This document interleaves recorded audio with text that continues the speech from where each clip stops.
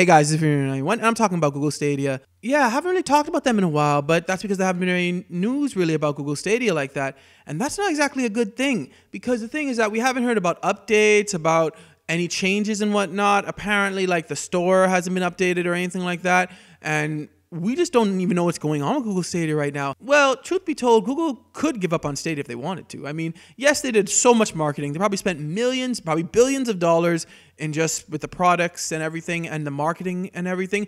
But well, well, according to Forbes, Google is worth over 100 billion dollars a year, so they can afford a mess up like this. They can actually afford it, but that's not good. I understand that some companies like Nintendo, right? They kind of just drop something that isn't working, but I really think that Google should at least try. I mean, even with the Wii U, Nintendo didn't just drop it a few months after release. They actually kept trying. They kept trying for at least a couple years, I believe, after the release. They kept trying to make it something, and then they dropped it.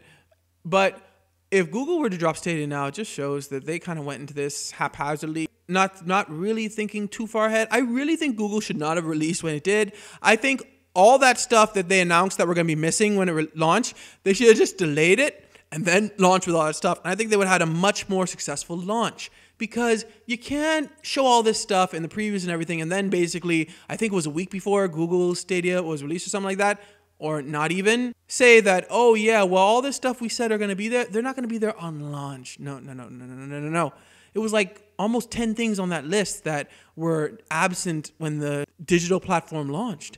So, I just think that Google needs to get behind Stadia. They need to get all that stuff on there. They need to update. And even if it doesn't work, just try. You never know whether Stadia is going to be this next big thing and then this is going to be like the last generation of actual physical hardware consoles or something like that. I don't want that, but I'm just saying you never know. But what do you guys think about Google Stadia? Do you guys think it's already dead? Let me know in the comments below. Thanks for watching. Like, subscribe. May God bless you all.